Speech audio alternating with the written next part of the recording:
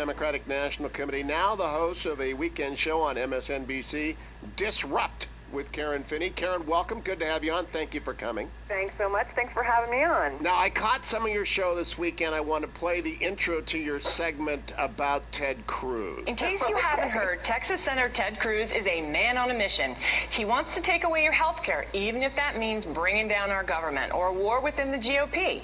But Cruz's rhetoric isn't just detrimental to his party. It's contributing to a broader environment of paranoia that could have very real consequences for our democracy. The fear stoking is reminiscent of another senator, a man from Wisconsin on his own mission. He also wanted to take his country back. Then it was from the communists who had supposedly infiltrated it. His name, of course, Joe McCarthy. And while Cruz's mission this time around might be different, the rhetoric sounds eerily the same. Now, Karen Finney, couple of questions. Number one, when you said about Joe McCarthy, you wanted to take it back from the communists who had supposedly infiltrated. Did any communists infiltrate the United States government? Well, I think if we go back to the McCarthy hearings, it's pretty clear that he a created, you know, a culture of paranoia and fear that people later recognized was, you know, people sort of bought into it and then recognized that it was absolutely misplaced. I mean, that's the point. But Karen, did, did, did any communists infiltrate our government? Uh, tell, please go ahead and name them. Can you? I'm trying to figure out if you know if any of them did. Here's the point. No, there were communists who in, infiltrated our. I mean, that's like Michele Bachmann accusing my friend Huma Abedin. No, actually, it's not. You know, Muslim Brotherhood because no, it's not. That you know it's, she may have no, known. This is just may a, have known. May have known this, somebody. This is just it's, a historical question. Was Alger Hiss a communist? You know what? But can, can we?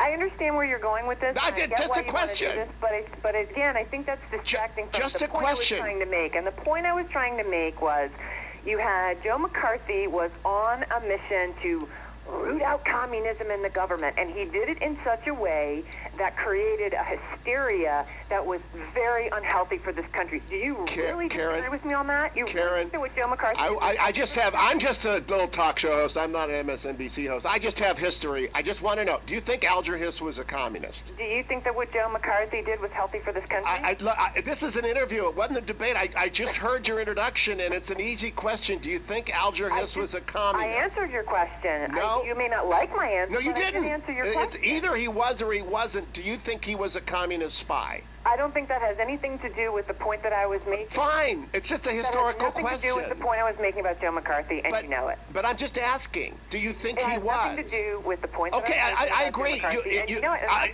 we'll stipulate that. Let's stipulate that. We're just sitting around talking for the benefit of the American audience listening right now. Was Alger Hiss a communist? Again, that's not the point I was making, and you know it. Well, I, I, I understand that, that. I, but I'm, I'm, just asking you, you, like right now. what you want to talk about, because then you want to go down a rabbit hole. No, I don't. I just want to know if you. I'm trying to tell you. I just want to know if you actually know that Alger Hiss was a communist. What I actually know was that the culture that that the McCarthy hearings created in this country were dangerous to our democracy. Karen, what, what was more dangerous? Was Alger Hiss dangerous to the country? Was was Joe McCarthy was the environment that Joe McCarthy created healthy for this country? Karen, did Ethel and Julius Rosenberg spy on the United States? They did, and that was wrong. Okay, good. Thank you. That's I just that was that was I just want to make sure we had some historical framework. Now, how about Alger Hiss? Was he a communist spy? Hugh, I'm not doing this game with you. It's just I, a, it could be over. I didn't I'm pursue any rabbit hole.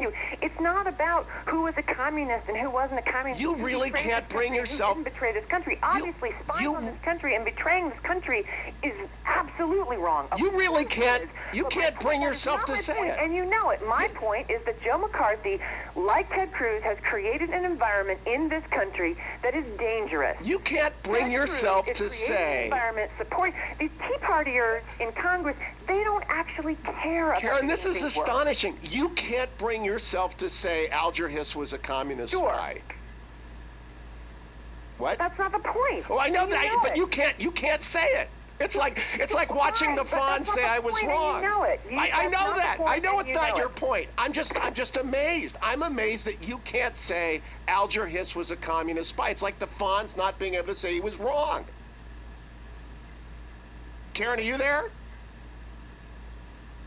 Karen hung up. Karen, she joined the hang up club. Karen Finney hung up on me.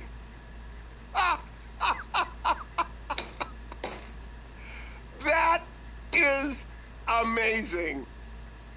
That is absolutely amazing. She could not answer that Alger Hiss was a communist. Oh, absolutely call her back. Maybe she had a malfunction. Absolutely call her back.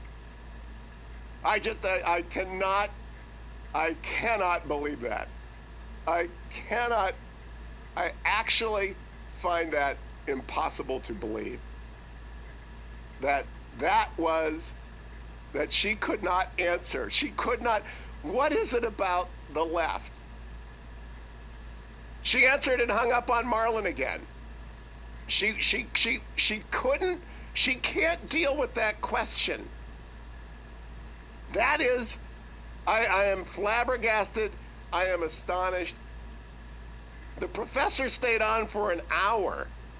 So she has got a show on MSNBC called Disrupt, and she can't handle a little tiny question about Alger Hiss. She can't talk to me and say, yes, Alger Hiss was a communist, Hugh.